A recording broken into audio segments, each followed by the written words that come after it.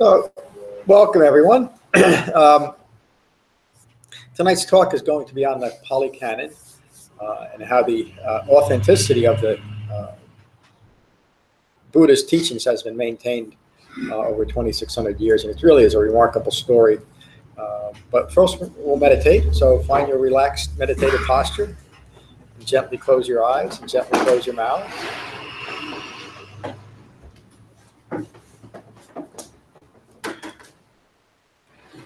Thank you. We'll start again. So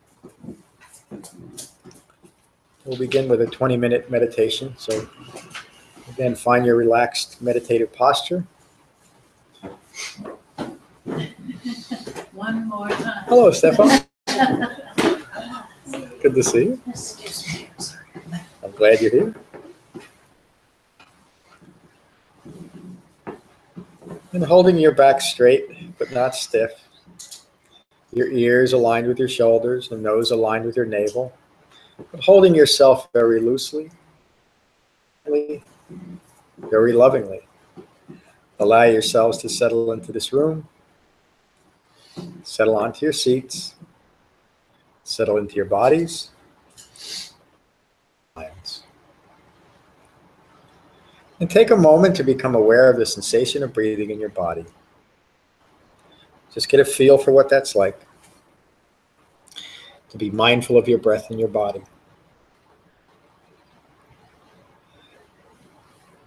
And while remaining mindful of your breath in your body, notice that thoughts are flowing. We're conscious beings, thoughts should be flowing. The purpose of meditation is to not be distracted by your own thoughts. So when you find that you're caught up in your thinking again, simply acknowledge that and return your mindfulness to the sensation of breathing. I'll repeat that. When you find that you're caught up in your thinking again, simply acknowledge that and return your mindfulness to the sensation of breathing. Relaxing your thoughts, remaining mindful of your breathing. and we'll meditate for 20 minutes with callbacks every five minutes.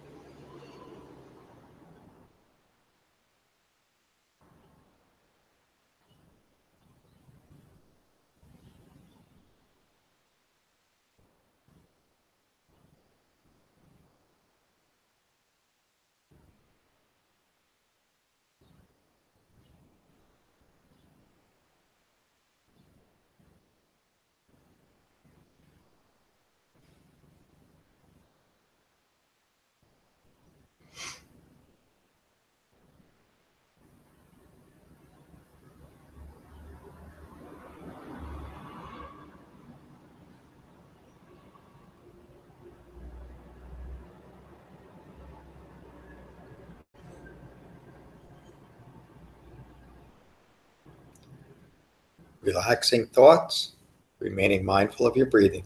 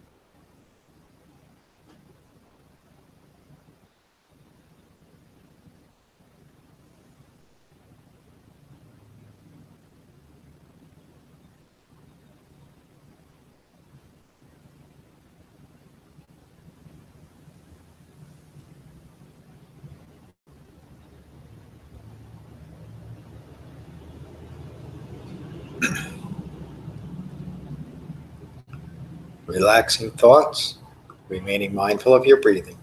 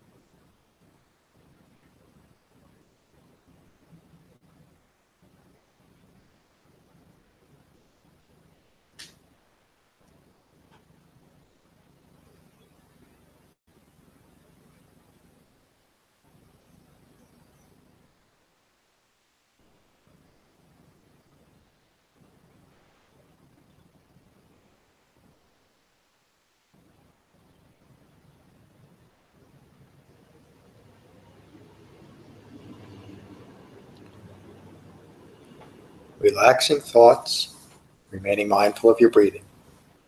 Persistent thought or feeling arises, stay with it for a moment or two, recognize it as impermanent, and return your mindfulness to the sensation of breathing. And we'll meditate for five more minutes.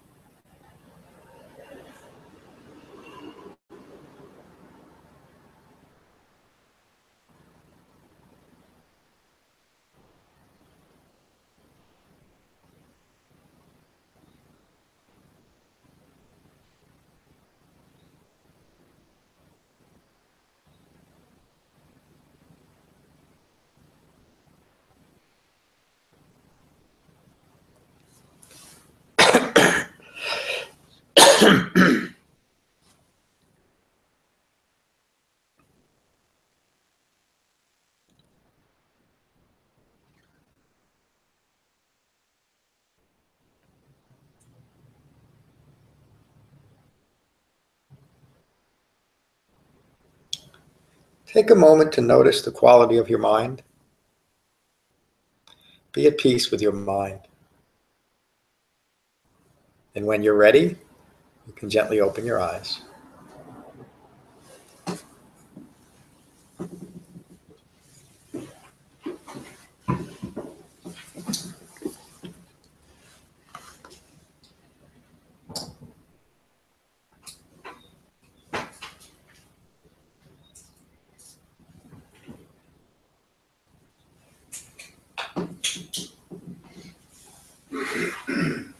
That's the closest I came to sitting cross-legged. You're getting there, Judy.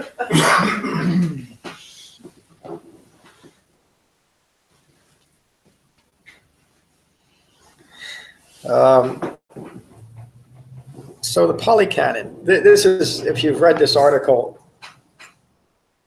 up until a week ago, it was a rather short article and didn't get into a lot of detail. But I've rewritten it over the past six months or so, maybe longer. Um, and it's now around 7,000 words. Um, so we're going to be here a while tonight, probably till early tomorrow morning at least. Uh, no, I'm- just going to synopsize. Uh, and it's also included now in the in the new book that is just out called Becoming Buddha. Um, at the end of that book, um, the the preservation of the Buddha's original teachings 2,600 years ago, I think, is one of the most remarkable stories and probably one of the most important stories in human history. Um, and how it came about is a direct result of the Buddha's Dhamma himself. In other words, that Dhamma allowed that were learning the Dhamma to contemporaneously remember it.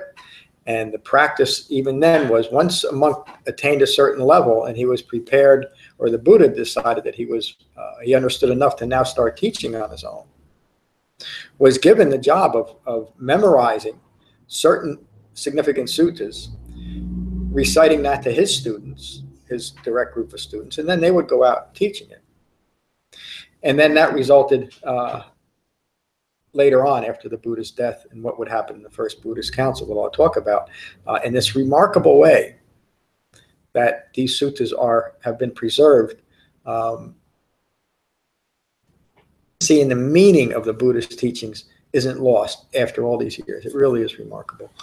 Um, during the Buddha's time, there was writing. Um, probably, you know, historians say writing probably originated with the Greeks, and there was already um, uh, books around. But the written word, as far as preserving something that was important, wasn't given a lot of, there wasn't a lot of confidence in it. And an oral recitation was given much more confidence than the written word, uh, which contradicts everything that we would believe today. But until you think about that, when you have a group of people that are reciting the same thing over and over again, and another group of people are hearing that same thing over and over again, it's constantly checked for accuracy, isn't it? And this is something that would be employed at the First Buddhist Council.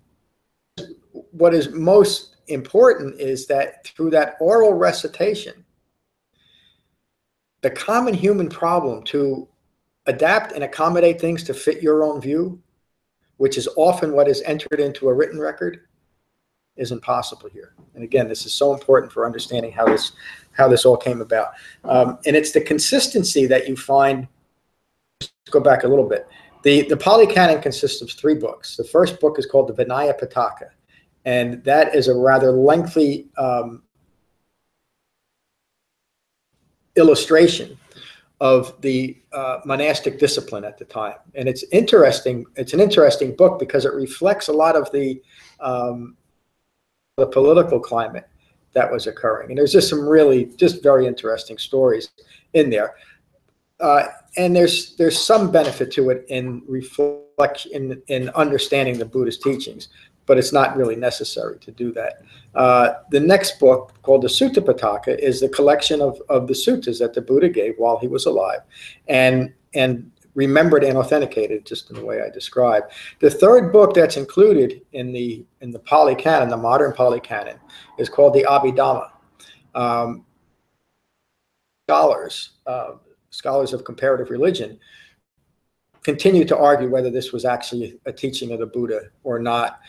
uh, it's quite different than anything that's included in the suttas. I, I don't think there's any way that you could say that the Abhidhamma is, was a direct teaching of the Buddha. It gets into um, very mystical accounts of the Buddha's teachings.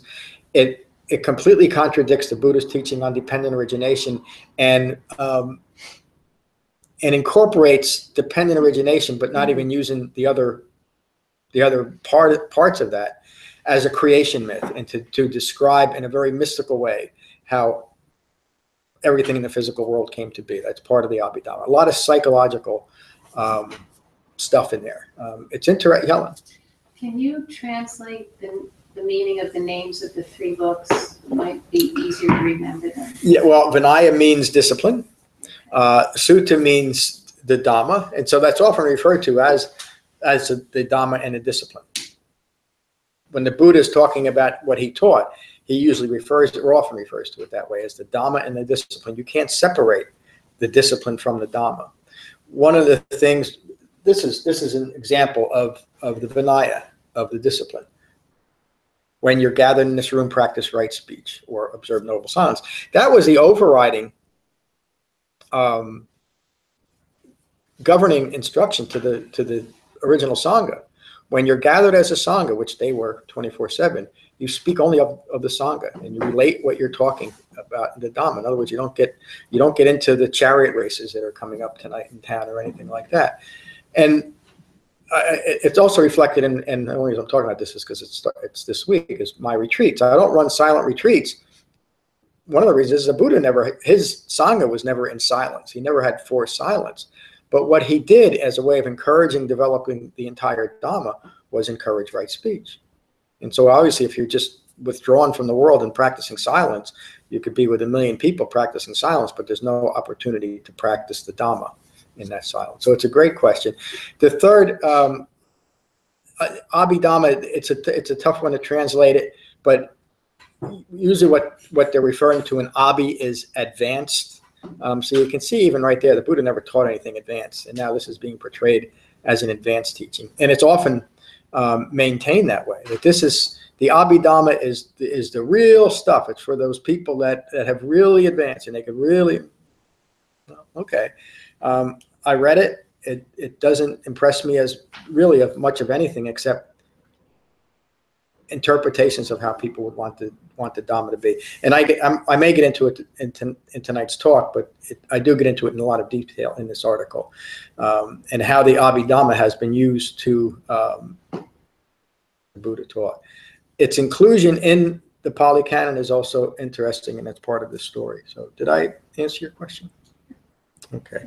Um, well, let me let me read about the. Uh, a little bit about how the how the councils uh, maintain these teachings. So uh, the Buddha taught for 45 years. Everything he taught for those 45 years was taught in the context of the Four Noble Truths. The reason why I keep saying that, I, I probably say it in nearly every class, is for many, many years I was involved in Buddhism in general. And for many, many years, I kept getting more confused and more frustrated and blaming myself that I, me, that I just can't get this. And uh, and I, I bought into the idea that this is so deep and so profound that it takes endless lifetimes to finally understand it. Okay, you know, but I really like something I can hold my hat on, hang my hat on this lifetime. It was never presented to me, and it, it never occurred to me until I actually studied that second book of the Pali Canon.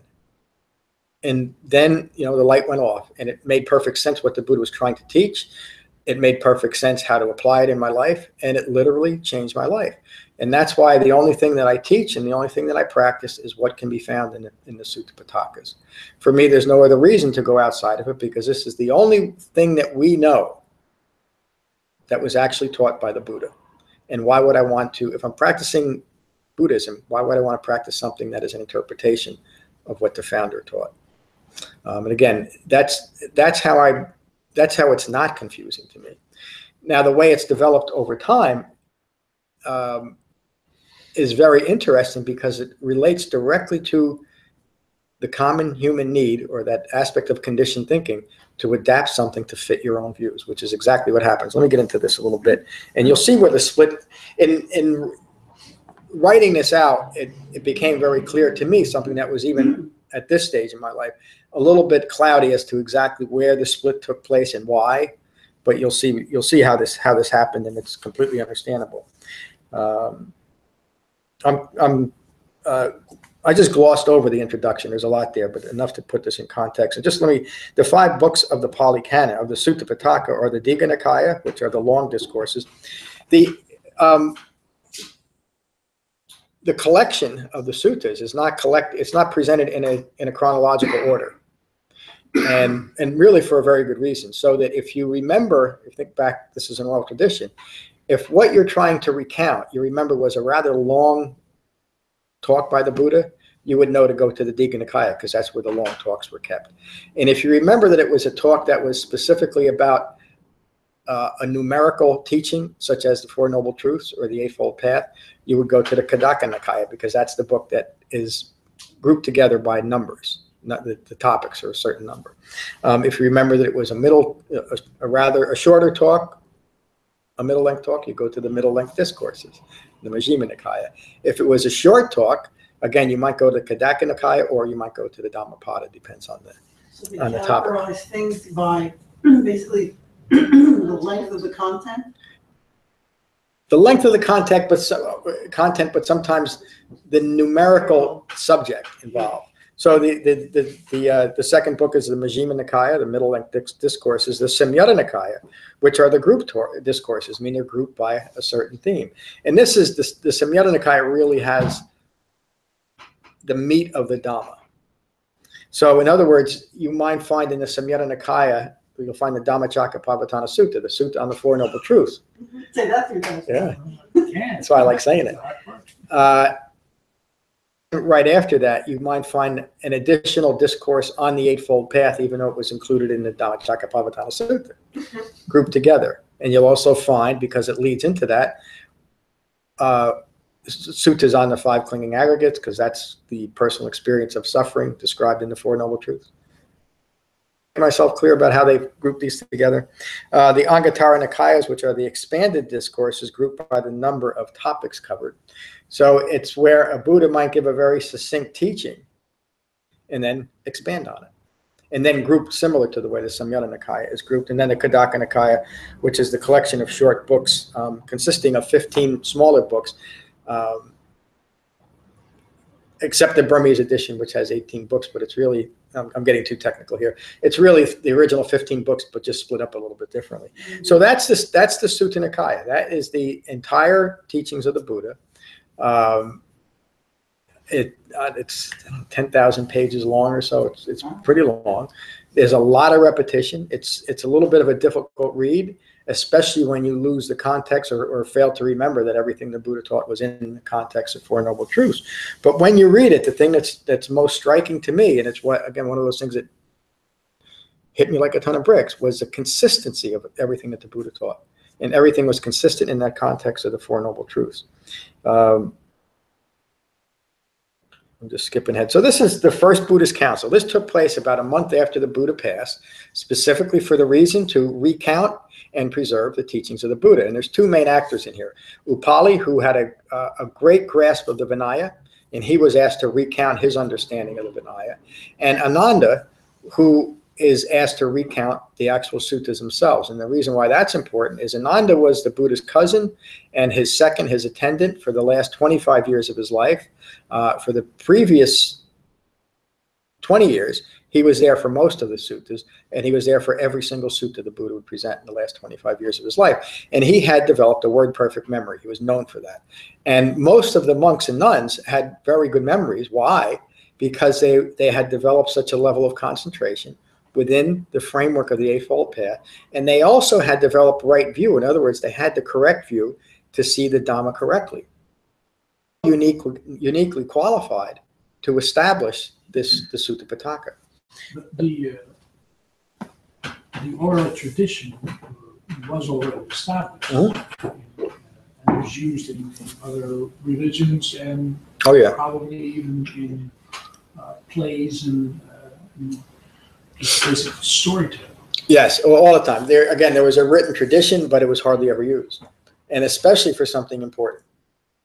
And the, the Vedas, um, precursor to modern Hinduism, something the Buddha studied, and the Upanishads that came into favor during the Buddha's life.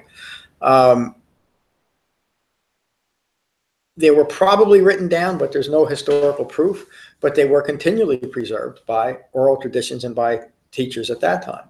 The Jains were another sect that were uh, contemporary, contemporary, contemporaries of the Buddha, uh, and they they also used an oral tradition to for their teaching. They didn't write anything down.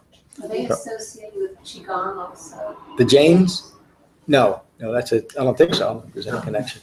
There is there are separate. Um, there's some some minor similarities between Jainism and Buddhism. In fact, there's and Jainism, the Jain religion is still a prominent religion today. It's not something that's faded, um, but there are some very very significant differences. In fact, I think it's Tuesday's talk I'll be giving on the Cula Saccaka Sutta, which is a, uh, a, a debate between the Buddha and Sakaka, who was a, same, uh, a Jain teacher, a prominent Jain teacher, who decided that he was going to, boy, I'm really getting off topic. I'm going to debate the Buddha and show him how foolish he is. And of course, the Buddha, in his calm way, the, just the opposite. That he didn't, it, his his teachings didn't hold up to what the Buddha was teaching. So, uh, the first Buddhist council.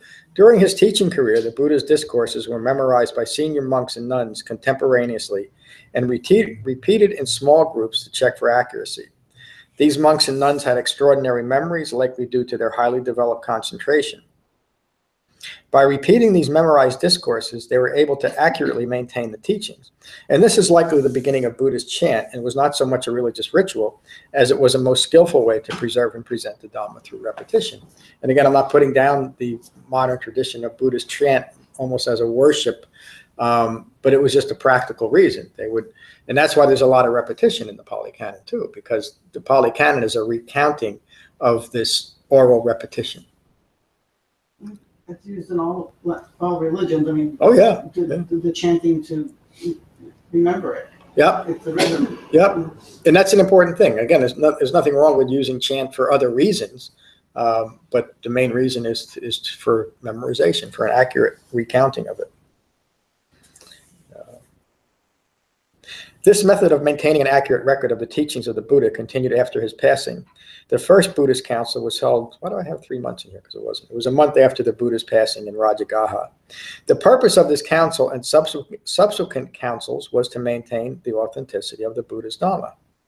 A well-respected respected monk, Mahakassapa, convened the first council. He was joined by approximately 500 other monks who had fully developed the Buddhist teachings. Now, there was thousands and thousands of monks and nuns by that time. But the only monks that were allowed to be a part of this council were ones that were already recognized as having awakened, having achieved arahantship. A little interesting side note is upon the Buddha's passing, Ananda was not yet recognized as being awakened. And so he heard that he was not going to be invited to this council, and he was upset. And he decided that I'm going to better hurry up and I'm going to meditate until I awaken. And wouldn't you know that that know it that that strong determination led to Ananda's awakening prior, just prior to the to the first council. And so he was invited, and that's important because it, it really is because of his memory and his position during the Buddha's life uh, that allowed this to take place. It was decided that the recording of the Buddha's lifetime of teaching should be separated into two general categories. Uh, the Vinaya would be recounted by Upali, known for his thorough understanding of monastic discipline, and checked ac- for accuracy from the others in attendance. This became the first book of the Pali Canon, the Vinaya Pitaka. The Buddha's chief attendant during his last 25 years of, of life.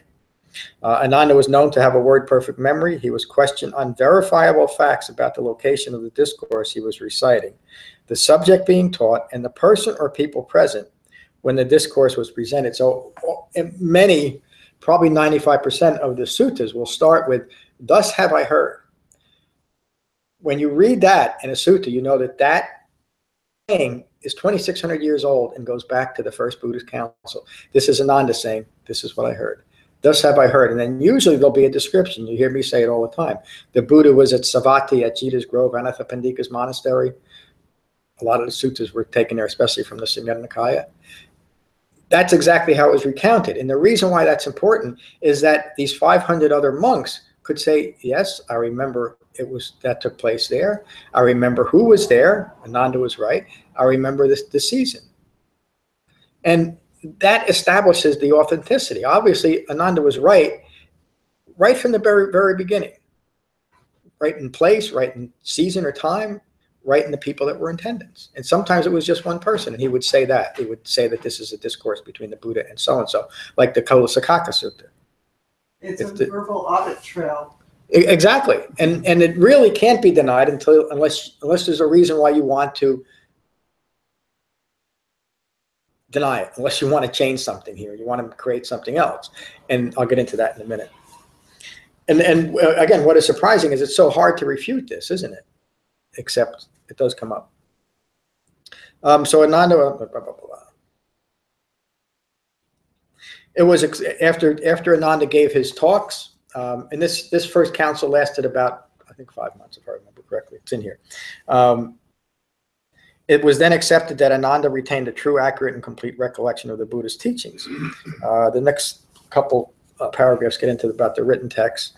Um, so over the next seven months, the 500 monks recited their own memories of the Buddha's teachings, and those recita- recitations were also compared for consistency and accuracy. It was then accepted by the entire council that what was presented was an accurate and complete presentation of the teachings of the Buddha, and that became the Sutta Pitaka, the second book of the canon. There was no mention at this first council of anything that would later be the Abhidhamma Pitaka. Uh, two important developments occurred at this first council. A question arose about relaxing some of the rules, including in, included in the Vinaya. Just prior to his passing, the Buddha did tell Ananda that it would be acceptable if a few of the minor rules were relaxed, but he passed before he could specify what those rules were.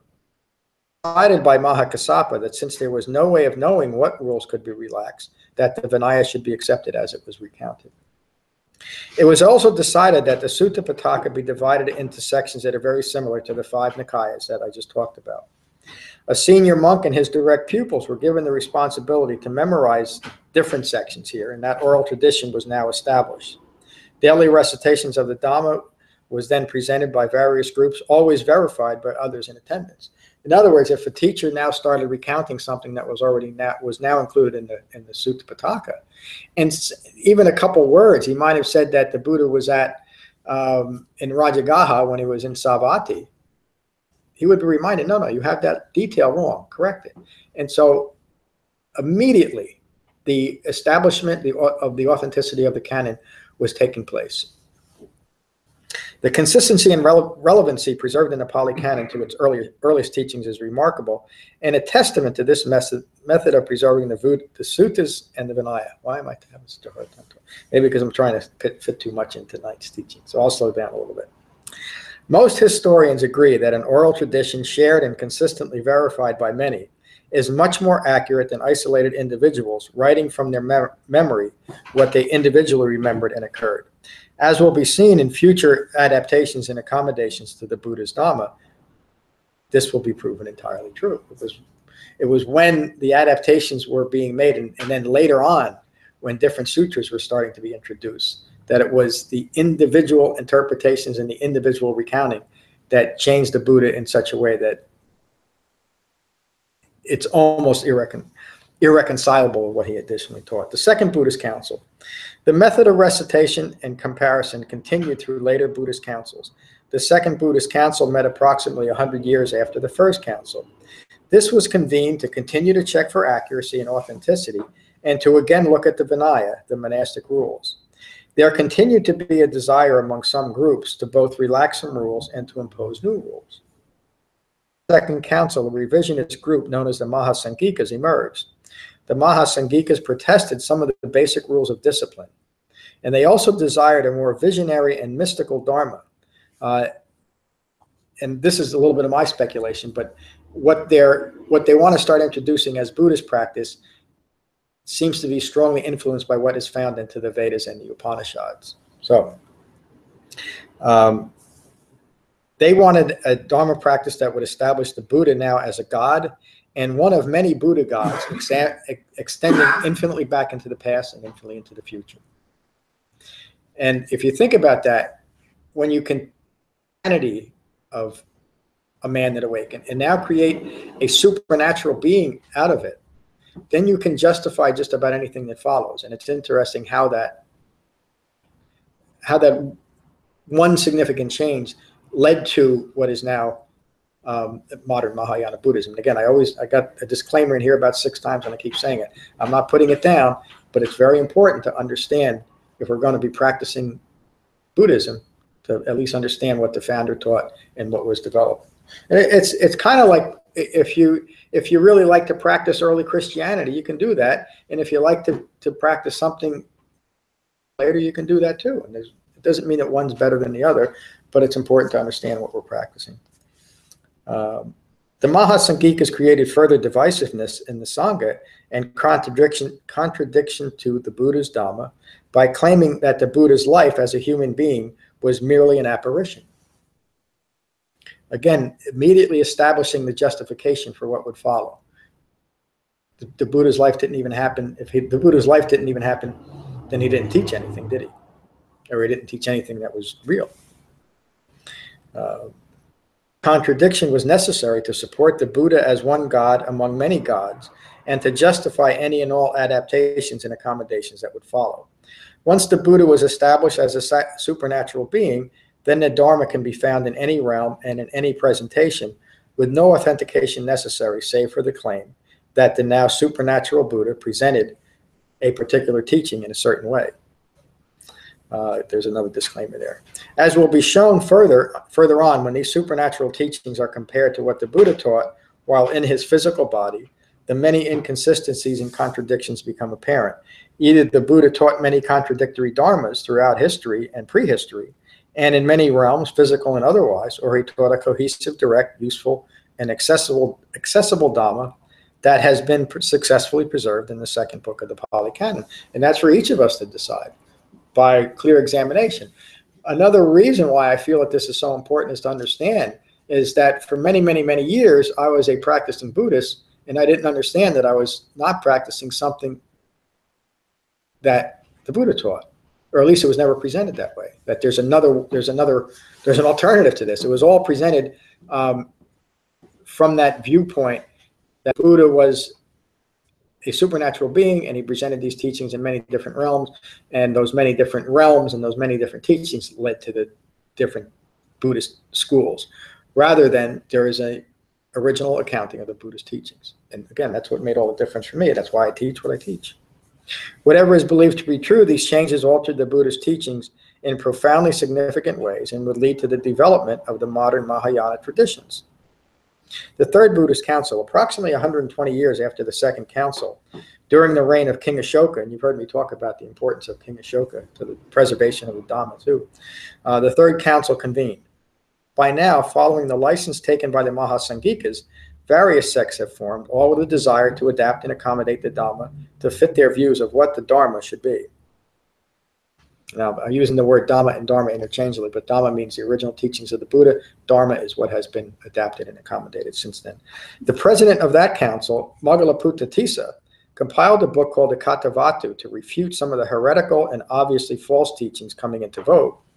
Tissa also included the more mystical practices that were becoming accepted as Dhamma practice that he enjoyed. And so that Katava, the Kathavatthu eventually became one of the books of the Abhidhamma and that was the Kathavatthu was the first written record called Buddhism. And notice that it's a it's a contradictory and somewhat Protestant form of what the Buddha taught, the first book, and it would be included in the Abhidhamma. That was sponsored. Uh, Tissa was part of a group called that was calling themselves now the Theravadins to separate themselves from the Mahasangikas. The Theravadins considered themselves uh, Theravada means the the, uh, the the teachings of the elders, to mean that they were practicing the authentic teachings of the Buddha, and anybody else was practicing something different. At that time, the Mahasangikas, and a little bit later, another group that I'll mention in just a moment. I won't go on all night with this because it really could take all night, but just to make these these few points. Um, sponsored by the Theravadins, to separate and establish the Theravada sect, and the division between the Buddha's direct teachings and what followed from the split with the Mahasangikas were now distinct. As far as can be found, the the Kathavatthu became the first significant written document in Buddhist literature, although it was obviously not an account of the Buddhist teachings, but a reflection of individual opinion of what developing Buddhist practice should be. Introduction of the Kathavatthu, the method of oral tradition of recitation and confirmation, preserving the Vinaya and the Sutta Pitakas, continued. The two original books of the Pali Canon now have had an accepted and authenticated third book. This easily explains why many scholars disagree as to the ultimate authenticity of this third volume, of the canon. While adopting the more visionary and psychological teachings found in the Abhidhamma, but continuing to preserve the Vinaya and the Sutta Pitakas through oral tradition, the Theravadins established themselves to the Buddha's direct teachings due to their refutation of the Mahasangikas. Excuse me. Theravadins continue to consider themselves as part of the Hinayana, or original branch of modern Buddhism. Modern Theravadin Buddhism is the least culturally and philosophically um, turn the page. Influence of modern day Buddhism, though there are significant differences between the Buddha's original teachings that can be traced back to this third council. So even today, I get questions uh, mostly from online students. Um, so you're a Theravada Buddhism Buddhist, aren't you? Because they see me more aligned with the original teachings, and I don't call myself a Theravada. Not that I'm putting them down. I don't see any reason to align with any group. What I do is I follow the Buddhist teachings as preserved in the Sutta Pitaka, and there are significant difference differences now that you can trace back to this third council between modern Theravadins and what the Buddha actually taught. Again, I'm not putting them down. The um, the Vipassana movement, which is one of the fastest growing Buddhist movements, um, uh, that originated in Burma by this gentleman called, I can't think of his Sasaso Kim, uh, and then really made popular by the Sayadaws, uh, is really just a hybridized form of meditation that is stripped of everything else. But again, Vipassana, just because it's called Vipassana, it's part of Shamatha Vipassana, many people think, well, it's the same thing. It's, it's really not. And that is a kind of a subset of modern Theravada, the Vipassana movement. Again, not putting it down. People love it, but it's not what the Buddha taught. Um, there's another disclaimer there. So, so this is also when the split between the Hinayana and the Mahayana schools became firmly established, although there would be no historical reference to Hinayana or Mahayana until the beginning of the Common Era. And that's an even interesting story. When it became useful for the Mahayana branch to really make a point of the split is when they started using the word Hinayana as a as a derogatory way of pointing to the original teachings of the Buddha. In other words, Mahayana means the great teaching, Hinayana means the lesser teaching, but it was the original intention wasn't that. Hinayana got its name from the way that, that Buddhism traveled out of India. And it first went south, Sri Lanka, and then to Southeast Asia. And the Mahayana version went north into China, then Japan, South Korea, etc., and that route. So Hinayana simply meant the lower course or the lesser course, the southern course, and Mahayana meant the greater course pointing to the northern course, just a ge- geographical location. But later on, when it became significant, now Mahayana was the greater teaching. When was the actual uh, sutras actually written down? Getting to that. Um, I just talked about this section, so. Okay, subsequent Buddhist councils. This will answer your question. There would be additional Buddhist councils following the third council, but by now the original Sangha had mostly lost identity. In other words, there wasn't there wasn't one group that called itself anything that you could identify as the original original Sangha. Still some practitioners, us. Um, in the first century, uh, before the Common Era, two competing sects had held, held councils at approximately the same time. The Theravadins convened their council amid much political upheaval, and they continued the oral tradition of recitation and verification of the Pali Canon. And it was recorded, it was written down for the first time, including the Abhidhamma. So the first written record of the Pali Canon included all three books. What year was that? Um, about a hun- a hundred years before the Common Era. Okay. So whatever that is. Yeah. 20, 2100. um, A competing council organized by the Sarvastivadins was used to introduce avi- additional teachings that has further influenced modern Buddhism. This, the Sarvastivadins are often confused with the Theravadins simply because the last two syllables of their name, but they were significantly different uh, and more aligned with modern Mahayana teachings. A fifth Theravadin Buddhist council was held in 1871 in Burma, and this five-month council was used primarily to recite the now three books of the canon, to continue to check for authenticity to the original canon and later edition of the Abhidhamma. So interesting, they, they now had a written record, but they still relied on the oral tradition to check against that written record. In 19, yeah, in 1954 in Rangoon, an international Theravada council was convened that lasted two years. Again, the entire canon was recited and verified, and all three books were now carved into marble slabs that are still available. Oh my goodness, they called all that into marble? Over two years, yeah. Uh, despite the addition of the Abhidhamma to the Pali Canon, the oral tradition of recitation and verification has preserved the original teachings of an awakened human being to this day. The preserved suttas continue the lineage of the Dhamma, first established by the Buddha. Um, let me just go a little bit further. The Abhidhamma is an extremely detailed theoretical and conceptual account of ordinary phenomena. And in essence, and what I mean by that is just it, it, it's a overemphasized mystical accounting of you know what Carl Sagan would say billions and billions of stars. It's just it it, it creates mysticism over just the universe coming into existence. And and the adaptation of the of dependent origination to to use that to describe it. In other words, well, that's what led to the has led to the common belief and the misapplication of dependent origination to imply that all things are interdependent, everything is interconnected, and we all interbe. There's there's physical proof for that. You know, again, Carl Sagan. We there's parts of stars in all of us. We have the same basic physical components. While that's true, it has no bearing on Four Noble Truths. But by adapting it and making making it significant, is tied to that teaching becomes significant. And it, again, it's an abrogation of dependent origination, which is a simple statement that from ignorance through 12 observable causative links, all manner of suffering arises. Most modern accounts of dependent origination don't even mention anything about the Buddhist teachings on dependent origination. And they'll even call it, this is what's found in the Paticca Samuppada Vibhanga Sutta. And then what is presented has nothing to do with it.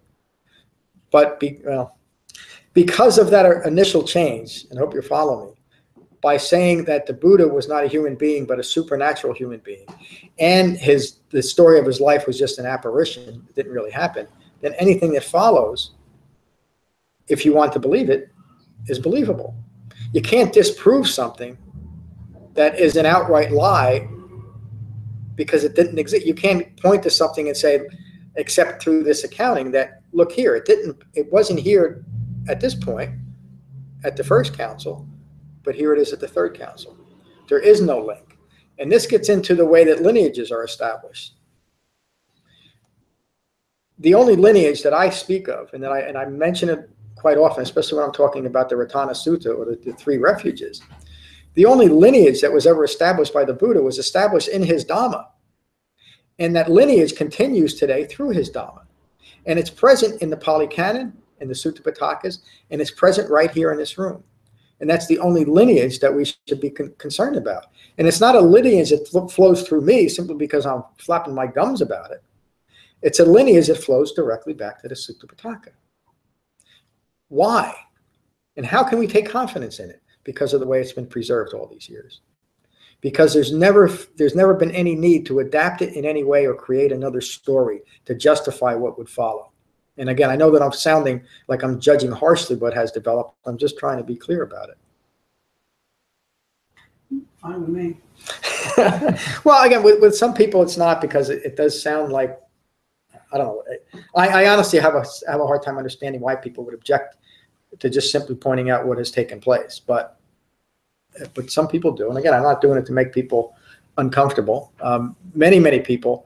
Um, I, I think it's important, and I've seen it firsthand. if you're going to practice this to understand what you're practicing and why, you can take confidence in developing these teachings. I don't want the supernatural the. So, yeah, so in other words, there's nothing that we have to take on faith. For me to, for me to believe that a supernatural being presented these teachings, uh, well, let me just, let me just touch on, on this one, just since I'm making the point. Um, and then I'll stop. It is told that the origin of the Abhidhamma occurred. This is, this is how it, it has been established. It is told that the origin of the Abhidhamma occurred when the Buddha, in the seventh year after his awakening, left the physical world for, for the realm of the Devas. And there, for the next three months, he taught what will become the third book of the canon. And that's the way that the Abhidhamma became an unintended link between the Theravadins and the developing Mahasanghikas. Because they incorporated that little bit. Now, maybe, again, there's no way to disprove that that didn't happen, is there? You can't disprove something like that. Perhaps the Buddha did leave for three months and somehow elevated himself to the realm of the Devas and gave this advanced teaching. And the rest of the story is that the teachings were preserved by the snake people for X number of years until humanity was ready and advanced enough to understand these advanced teachings. There's a there's a lot of problems with that. Forget about the snake people. Well, I, I'm, no, I'm not trying to be I'm not trying to be be uh, make that a silly assumption. If you can believe in in this, you can certainly believe in snake people, and maybe there was such a thing as snake people in this higher realm that actually did this. The problem then comes with this advanced teachings that are relayed. I, I really could talk all night about this. Later on in this article, I talk about the the, the sutras that are the hallmark of modern Buddhism: the Heart Sutra, Lotus Sutra, the Platform Sutra, and the Diamond Sutra. Um, and they all claim, if you read them, they are so inconsistent to the Buddhist teachings that, and they they give their their gain authenticity much the same way, although they're not included in the Abhidhamma. That these are advanced teachings that were preserved in the higher realms until humanity was ready to receive them, and then we can practice them. so there's there's different patriarchs, lineages that trace that back that, that now brought the Heart Sutra, the Lotus Sutra, etc., Platform Sutra, uh, and the Diamond Sutra. Now, the, the main problem with that is when you say that the Buddha gave these teachings to in a non-physical form, so that at some point in the future, when humanity is advanced enough to understand these teachings, denigrates everybody that was around when the Buddha's teachings and achieved awakening. And then how did they awaken? And if the Buddha was teaching something that was not useful, what did he do for 45 years of his life? He gave an awful lot of, I mean, he spent 45 years of his life teaching. But if you if you believe that theory, it was 45 years of a completely wasted life because he wasn't teaching anything of any real importance. And then there's also a claim that, and this this contradicts this claim, is that the reason why so many people awakened during the Buddha's time is that they were so karmically advanced. So on one hand, these people 2,600 years ago were so karmically advanced that they got this teaching instantly, and yet they were so behind the times that they weren't ready to receive the real true teaching. And again, I'm not putting this the whole story down. This is how it's presented. Decide for yourself what you want to follow.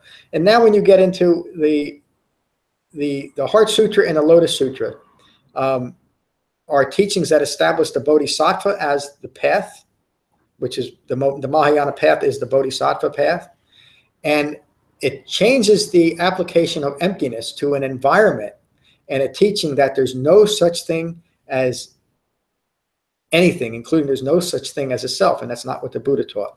It's using emptiness as almost as a destination and an, an environment to aspire to, to find yourself or establish yourself in, rather than the Buddhist teachings on emptiness. And if you remember a couple weeks ago, I gave that talk on the three discourses um, on emptiness. The Buddha used emptiness than a noun to empty yourself of ignorant views. And again, the Heart Sutra and the Lotus Sutra both treat emptiness as a destination to develop in your own mind. Included in that emptiness is when you can empty yourself enough, Buddha nature will arise. Something else that the Buddha didn't teach. And that idea of the Bodhisattva, the Bodhisattva is the vow that I will delay my own awakening until all other beings are awakened is usually how it's presented, or that I will seek awakening so that I can lead all others to awakening. When the Buddha refer, referred to himself as a bodhisattva, which he did often in the Pali Canon, it was always in the past prior to his awakening. He would say, When I was an unawakened bodhisattva, blah, blah, blah, this is what occurred.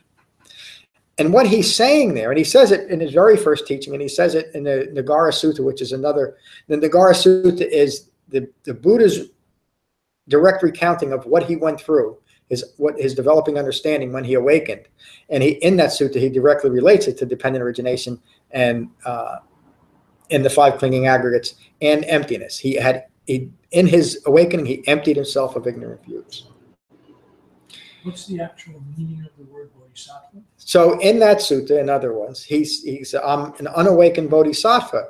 What he's referring to is even though he had some in in, in uh, for a human being, he had a very high level of compassion. He was concerned about all humanity.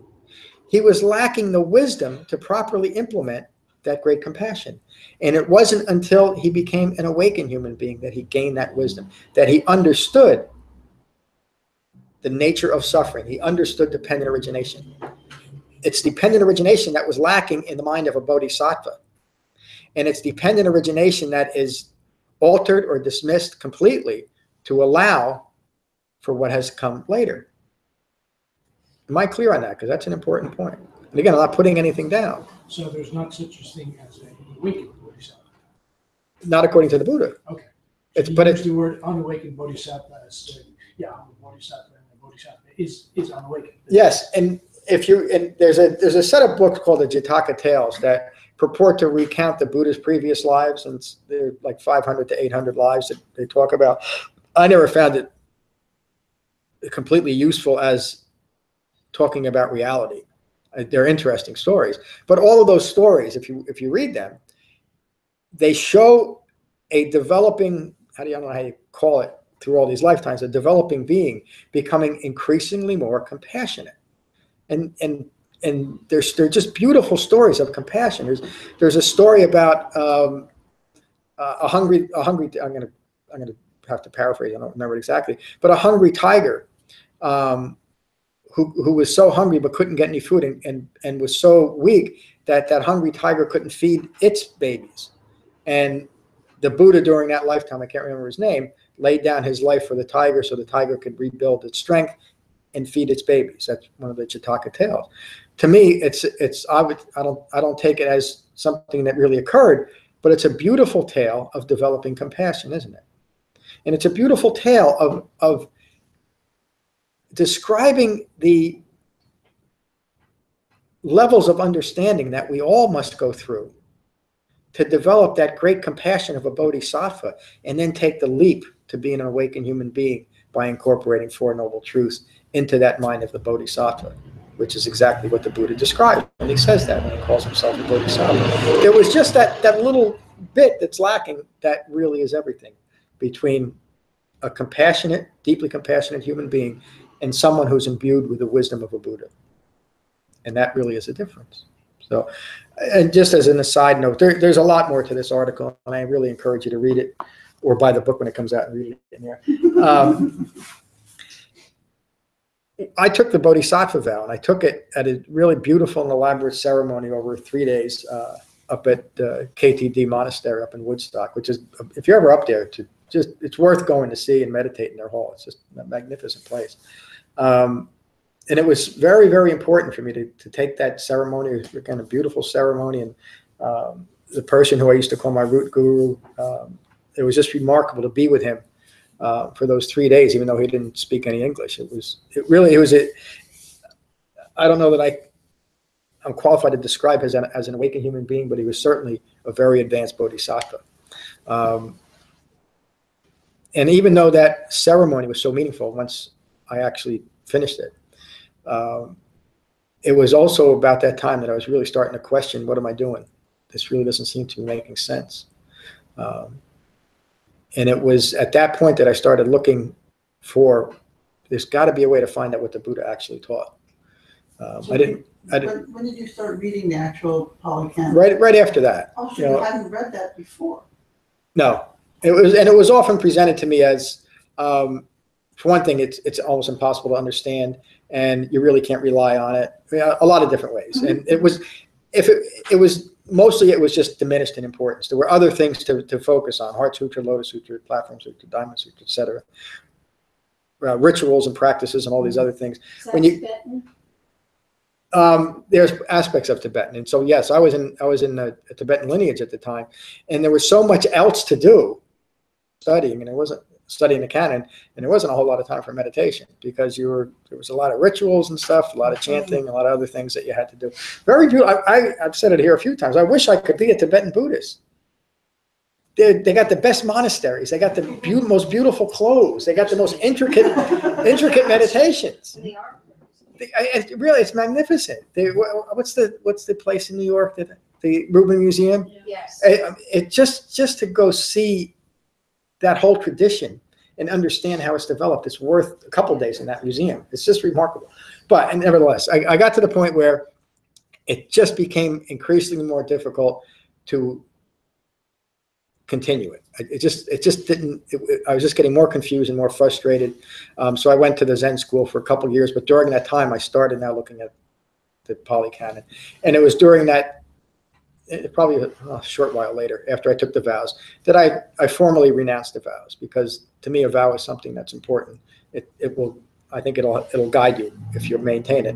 And so, and again, not to mean any disrespect, but it was important for me to acknowledge that that was something that I can no longer hold to because I understood now that what I was hoping to achieve was something that was beyond even a bodhisattva. And I know that sounds very arrogant, especially to bodhisattvas, but it's exactly what the Buddha taught.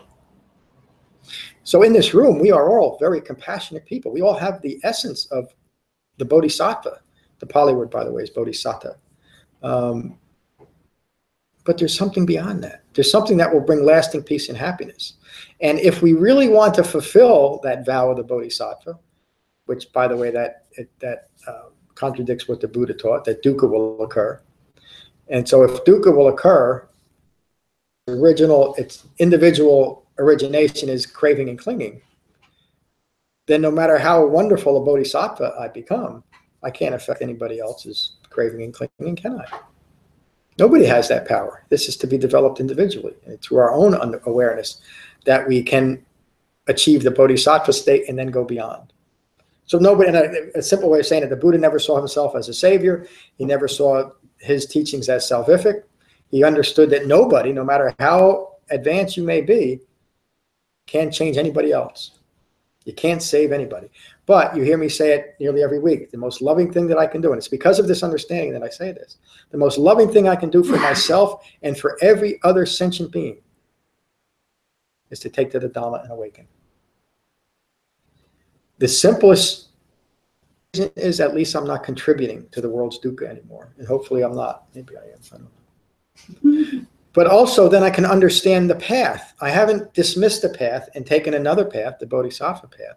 I've developed the path well enough that I can at least sit here and try and explain it to you in hopefully a meaningful way, which is exactly what, the, and again, I'm not calling myself the Buddha. He never called himself a Buddha either, by the way. He awakened, he, be, he went past being a bodhisattva, and then he started teaching. He taught other people how to do the same. So there again, there's a lot more to that article, but I think I've gone far enough about Pali Canon. but I hope I really, I it's it's important that we understand where these teachings come from. It didn't, you know, it didn't just come out of what I hoped it would be. And again, I started this whole talk with this. I guess I wasn't quite done. That these teachings are still available, and now you understand that. We can we can really take uh, some confidence in the authenticity of it. So, thank you for listening. Um, any questions about tonight's talk? And then we'll just go around the room. I wanted to um, add a little something, uh, like a little shout out to the, to the Theravadins, that they have uh, also preserved the language. Yes. Um, And I only found this out quite recently, that in, in a place like Thailand, the government will uh, have um, examinations. Yep. You, you pass the, the first, second, third level of, of Pali, and, and it allowed this, this whole scholarship into.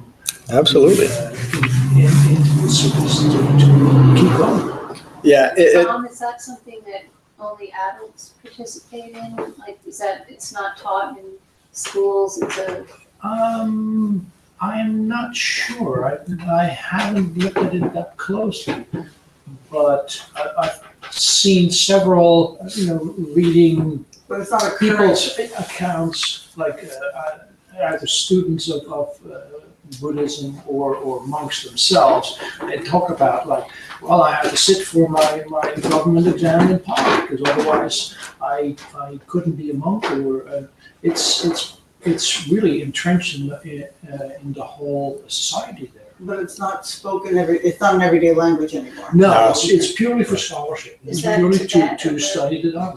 where is that? Thailand? That I know of, that, that's where I found the reference. there's online resources too. There's a few places that you can, that actually, you can study the Pali language. Um, you- You're absolutely right. It's a Ther- through the Theravadan effort that it's been preserved.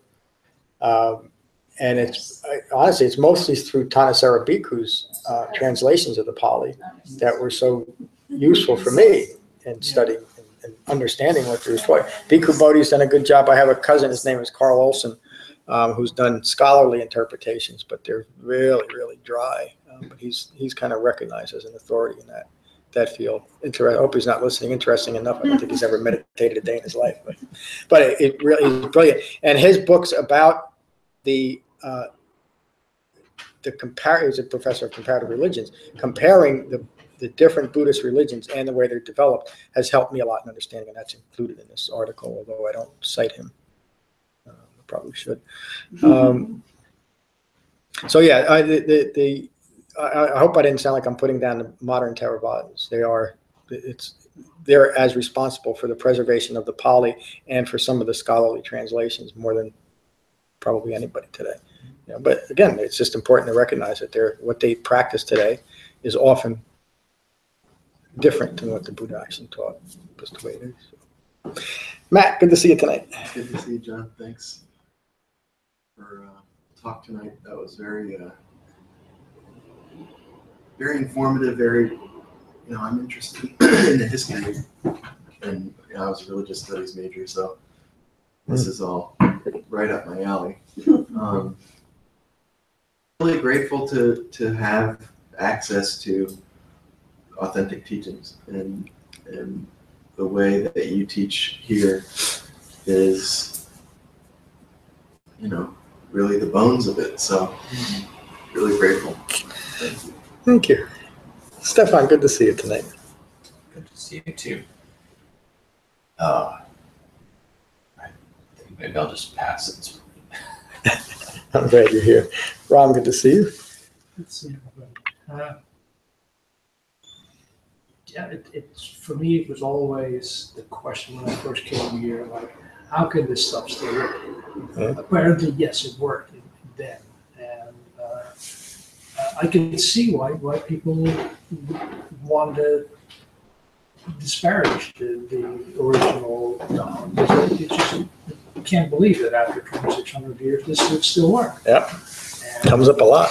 you know but it takes it takes an an effort uh, both in, in studying and in in, in intention uh, and in effort to to practice the Dharma to finally see damn it works Yeah. um, have all the all the right to to continue on this path because it's it's a it's a well trodden path Yeah. um, although you know, there may be some, some, some parts missing here and there uh, that you can't see in the past, but uh, yeah, the teachings are here and, and they work, and why not follow them? That's how I feel. And just like the Buddha said, I have a secret. Come and see for yourself. You got to try it out. That's the only way you can know. Thank you. Judy, good to see you tonight. How are you doing? Um, I- just like the fact that it's something that people can do and kind of, it's a different perspective. Yeah. And that's, that's what I like about it. It's, it's, it helps you live your life in a better way. Yeah. That's all I want. I don't want, I don't. I, I- I didn't come here for some sort of faith-based something. I came for a way of getting, you know, a different perspective. Yeah. And it's funny, you know, a lot of times when you talk about clinging and craving and, you know, I've always had issues with food. I would always eat when I was, always eat when I'm stressed. And I realized that I have done that for so long that when I am stressed, I think I'm hungry. Yeah, conditioned response. Yeah. And so just today I realized if I take some nice deep breaths, I no longer feel the need to eat. And It's remarkable. so what it is, is that I was attaching stress to hunger and thus the need to eat. Then said, well, why do you need to eat even if you're hungry? It's, you can, I mean, you're not starving. I lose, I could lose forty pounds, so obviously I don't need to eat right now just because I'm feeling a little hungry. I can finish what I'm doing and eat later. And this is, I, I grew up in a, in a family where if you were upset, the thing to solve it was to eat.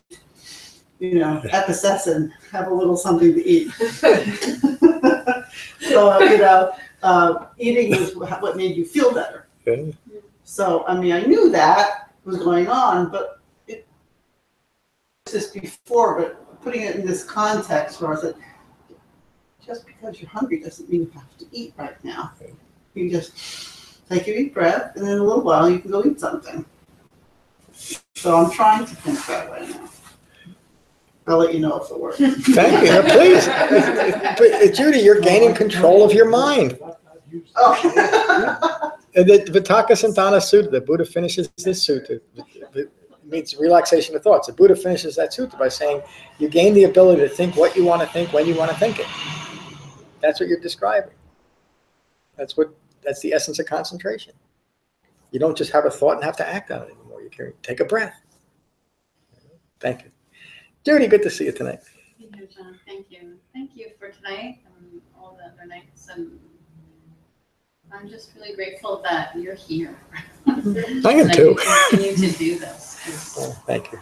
It's it's very helpful for me in my life, so. Thank you. Helen, good to see you tonight. Thank you, John. Good to be here. Um, Just that whole idea of something that is then interpreted in other, other ways by other people. It's like the game of telephone where Yeah. things change. and, you know, um, This is just sort of a family story. Um, very creative sister Liz had this idea to take um, a family story and make it into an art project. And um, when we were kids, um, and my mother would go grocery shopping, she would leave my older brother in charge of us. And um, so one day, mom drove down the driveway, and then we all scattered and tore all the cushions off the sofa and piled them high in the living room and someone ran and got the plunger and handed it to the youngest kid and we proceeded to stick them on the ceiling above this tower of pillows. And it's, you know, it's the plunger story. And so many, many years later, Liz had the idea of asking us all to write down our, our memory of this day. Some of us weren't even born yet, but they had heard the story so much, so she she constructed this book called Nine by Nine, Nine Stories by Nine of Us. And it's fascinating how different each one of us has put a spin on this story.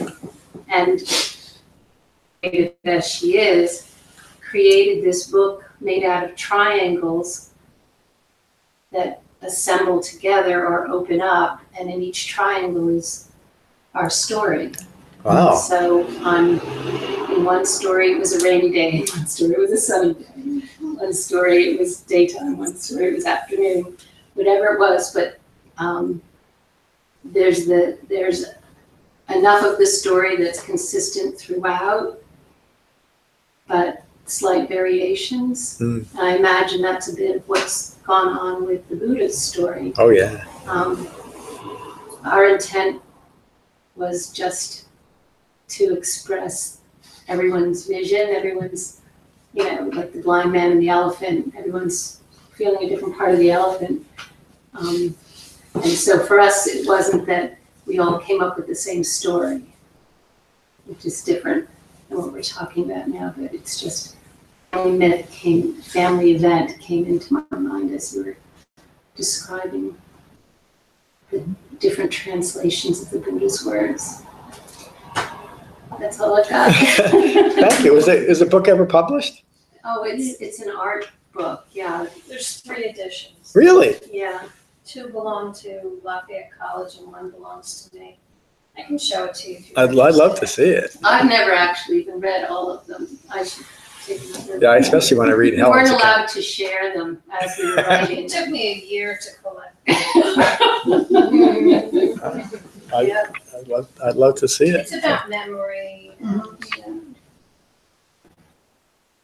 Plungers. Plungers on the ceiling. That's, yeah, that's a secondary. Well, I, I, one, just one question. What happened when your brother saw the plungers on the ceiling? My mother? Your, the, your brother who was in charge of you. Oh, No, he was involved. Yeah. Oh. Forget the plunger guy. He was, he was tall enough to stick the plunger to the ceiling. He was Yeah. the one who. Yeah. Okay, then the next question is what happened when your mother saw the plungers on the ceiling? I don't, I might think, and I think the fact that Depending there on was the weight of the child that was hanging. It was physics. Yeah. She was, she, as long as there was no blood, she was pretty okay with our creative endeavors. As long as she didn't have to stop and take someone to the hospital Right. for stitches. Times when we all took up all the seats in the waiting room. When somebody did have stitches, we bring board games to the hospital. You know the drill, bring the Yeah. So, Or cheesy, all night. Thank you, Helen. Bonnie, how are you tonight? Oh, it's nice to be here and hear other people's stories. Yeah. I'm grateful for being able to come and be still and uh, and stop the condition mind. And, so.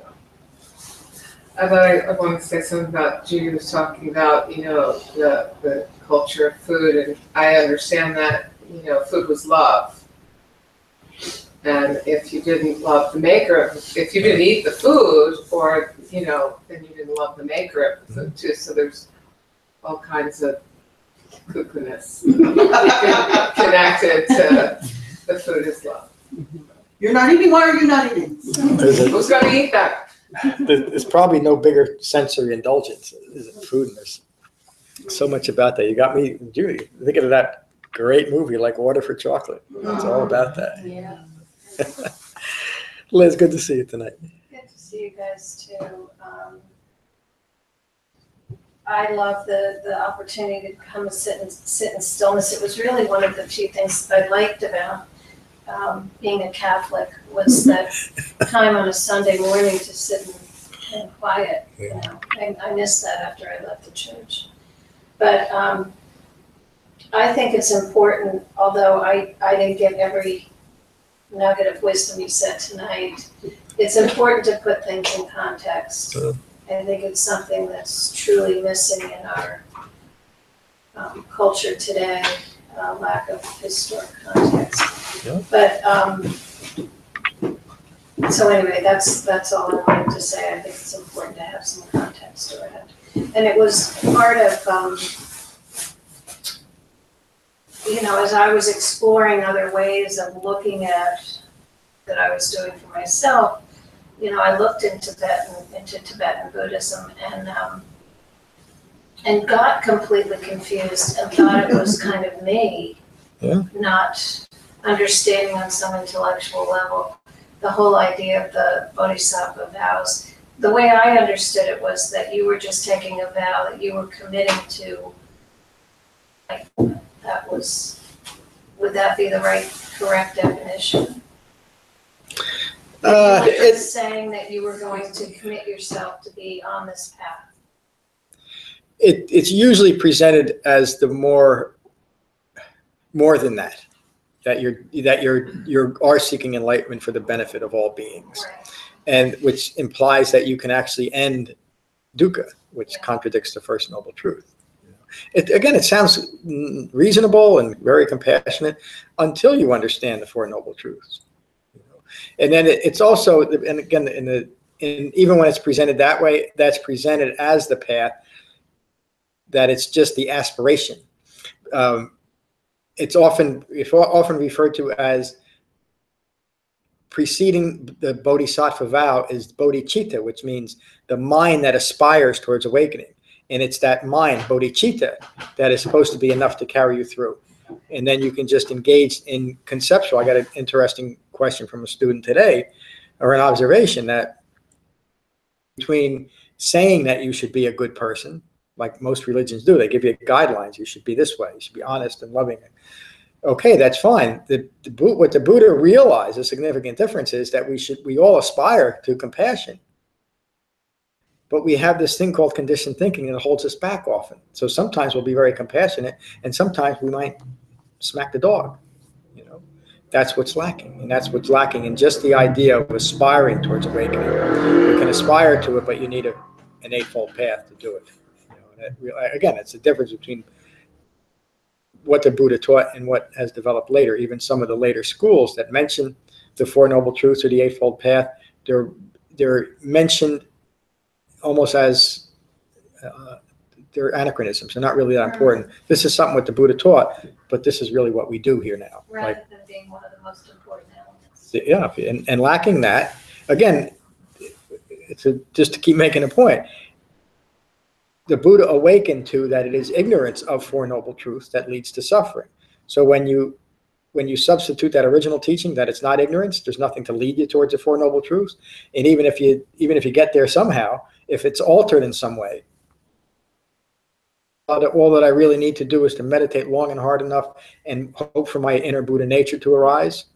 Okay, you know, again, it might work, but it didn't make sense to me. So Well, the thing that, um, in, in just this brief, um, encounter with Tibetan Buddhism that I went through, um, uh, after this retreat I was on, by day four, I was feeling like I was in a uh, dogmatic encampment, you know, where, and it would, and I could see where it was very similar to Catholicism, where this hierarchy was set up Yep. to keep people place or at bay or needing to reach a level to, to needing to go through a process to get to a level. Yeah. And, and no, you know, a lifetime of working through levels to get somewhere. Like yeah, many many lifetimes. I really did, by the day, by the time I left, I felt like I was in. Yeah, Yeah, it, that's kind of how I felt, and all the the different empowerments that you need, and you know, special merit and do this for that. Yeah. See ya, Judy. Yeah, thank you. And again, I'm not. It, it, it's it's a religion. It, it's a legitimate religion, just like all others. Or denigrating. I hope I'm not doing it. It's just different. You know, that's all. Lorna, good to see you. Um, your knowledge of the history of the Buddha is a very impressive, John. um, and uh, you. Are you saying that like uh, Ala Cliff Clavin?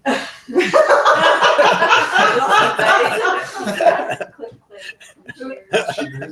oh, cheers! Oh, Karen, we did get cheers in Britain. but I don't know which character you're talking about. I guess I'm admitting something about my past too.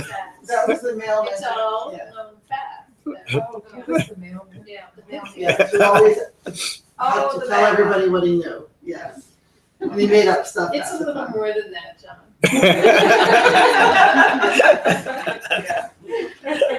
Oh, my son is a cliff clavin. A long time ago, I watched one television show. That's all. Now it's in. Right one. Yeah, yeah, it's, um, to hear you speak is very impressive. It really is.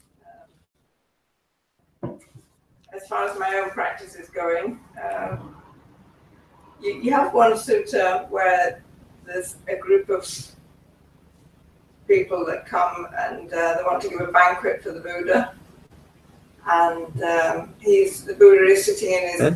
tent or his shed or wherever he hangs out. and he hears a raucous outside.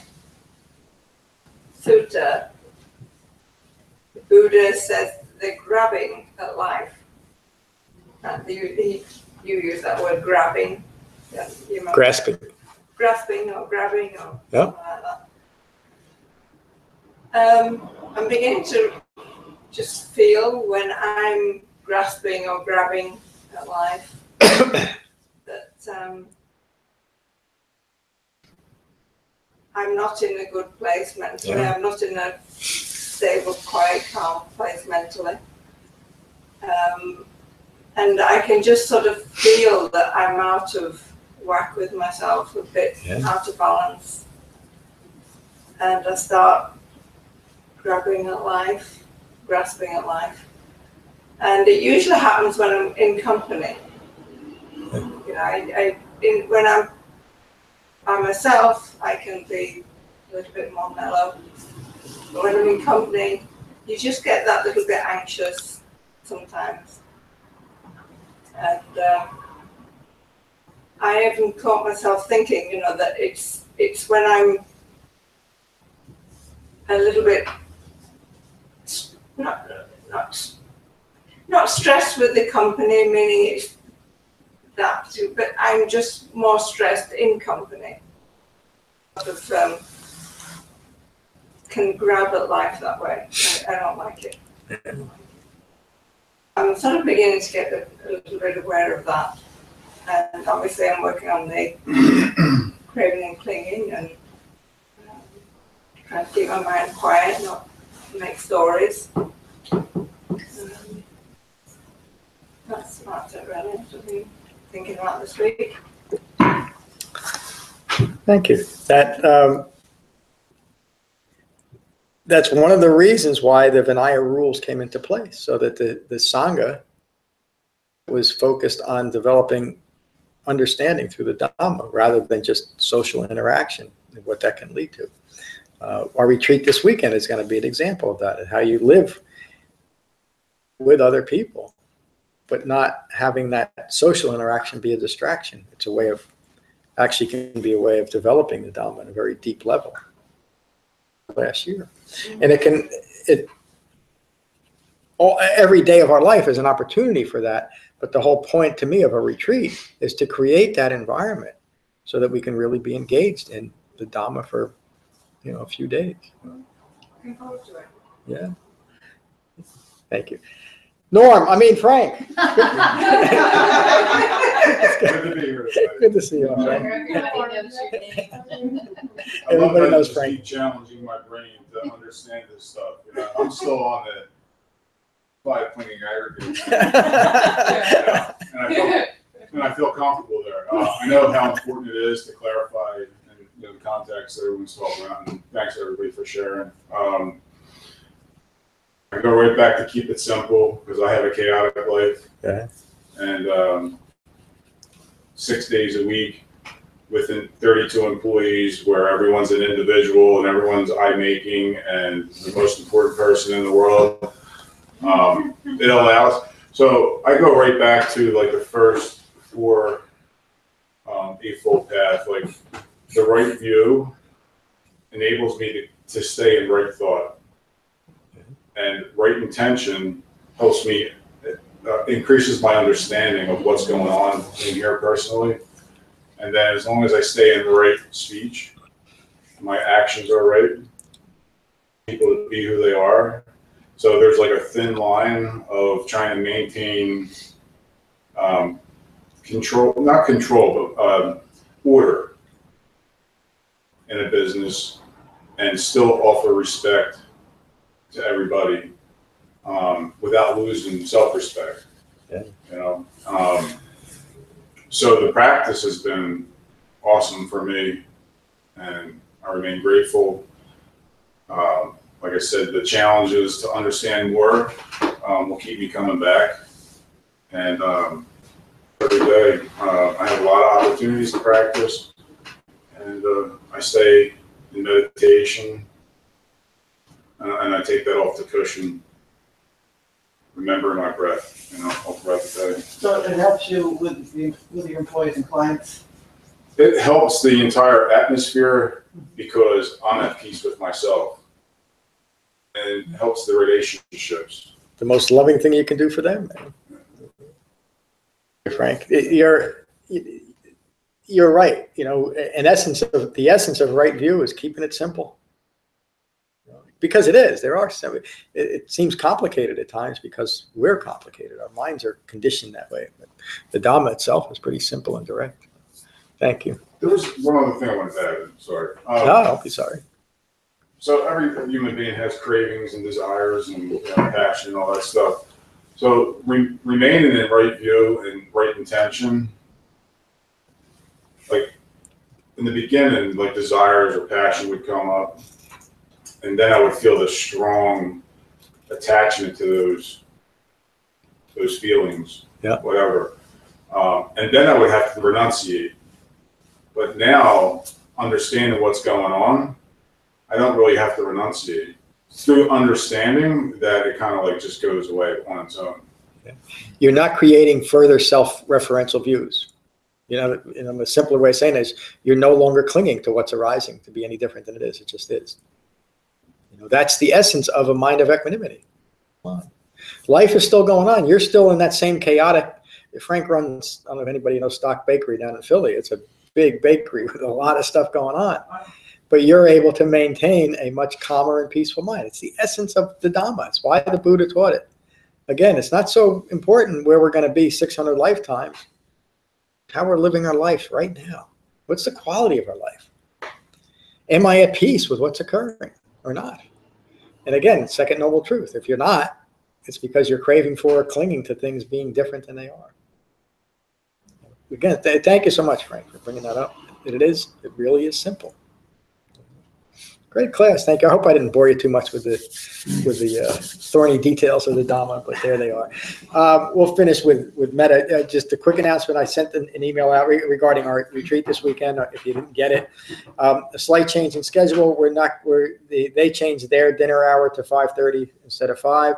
So, and I won't give a uh, talk before then. I think the original schedule had me going on about 4:15. You'll hear enough of me after. So if you get there, if you you know get there as early as you want, anytime after three, because it's a nice place to hang out and just be. Um, but try to get there so we can have our dinner together. But again, if not, o'clock. What's most important is don't stress going to a place to de-stress. You be streaming? I'm going to try as long as there's a, a, a Wi-Fi or a, a cellular connection. I'm going to stream the, the talk, so you can you can join me that way too. They, I remember last year the Wi-Fi connection was pretty spotty, and I don't think there was anything downstairs where we, but I was able to get a cell connection, so I can use my hotspot. So it was- it's not- Yeah, so I'm going to try. We'll see. Even if it's not streamed, is it recorded? Uh, well, I, I'll there's a voice recording that I'll make. You know, last year's So talks are might on. not be able to hear it while Last you're year, I, there in real I time. didn't go to the retreat, but I would walk the path here in Frenchtown, just listening to it over and over again. It was really cool. Yeah, last year's talks are on the on the website They're on too. there. So yeah, and and yeah, if I can't stream it, I will record the talks and put them up early next week. So but, yeah, try to get there by five thirty, certainly by seven. But again, don't stress at all. Get there. That's most mm. important. We could Extend their Wi-Fi system to the building. They may have by now. I haven't I haven't checked. Um, So let's we'll finish with metta as we always do. So find your relaxed meditative posture. Oh, and and there's obviously no class Thursday or Saturday this week, but we'll be back on schedule next week. We should bring um, towels and. Well, they have uh, everything you want. I found that the, the towels are kind of tiny, and I like a nice big fluffy towel. And they're, and also, I probably shouldn't say this because you're all going to walk in there with, with your pillows, but I found their pillows a little bit lacking in support too. So you might want to bring a pillow. Uh, and and but and there's little those little bars of soap. So you really don't have to bring anything, but for your own comfort, you might want to bring your own towel, maybe your own pillow. Uh, it's supposed to be cool up there Things are well heated. Yeah, the inside will be fine, but we're gonna be walking between the buildings to go for our meals. The rest of the time we will be in our building, so you might wanna just bring a jacket. It's great uh, hiking trails and walking trails, so you might wanna bring some sturdy shoes for that. There's not supposed to be any rain, but you never know. Um, But it's a beautiful place. So The food is great. Uh, pla- if you have, I think I asked you too, if you have any um, allergies, let me know and they'll accommodate you for that too. So, And if, if you're going to go walking, uh, bring a water bottle because they, they have good water available, but nothing to put it in. Ah, yeah, good point. Uh, and you know, the other things, I, I don't, I don't insist that you don't, you know, bring a tablet or a computer or a cell phone, but if you do, it's really best to leave it in your car. You know, because you're on retreat, and we'll talk more about that to those that are coming on retreat, what that really means. But you know, it, we, we leave the entanglements of the world behind, and we take refuge in the Dhamma. So we don't want any distractions while we're while we're there for the few days. So, all right, let's finish with metta. Find your relaxed meditative posture. And gently close your eyes and gently close your mouths.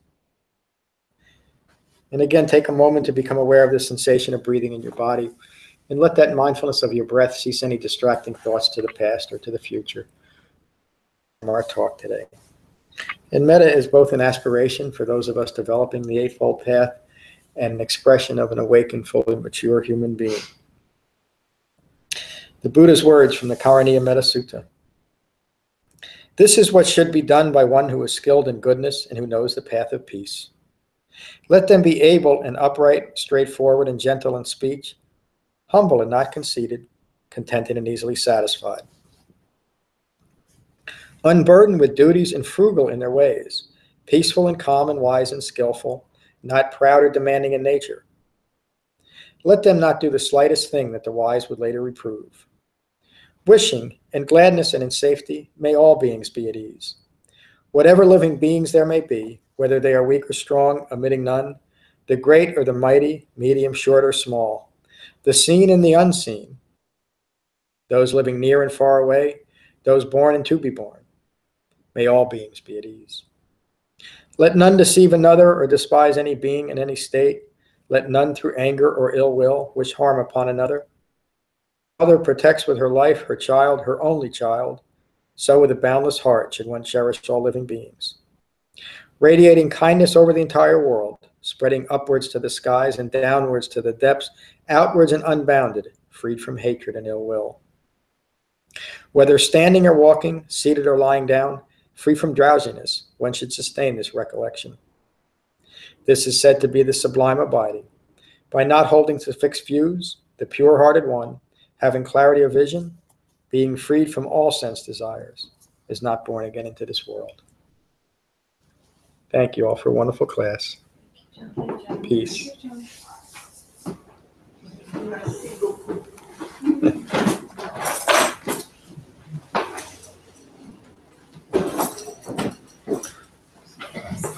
Matt, can you give- me just one second before you run out? Yeah. Let me get this together. I know you want to get home, but I'll keep you long.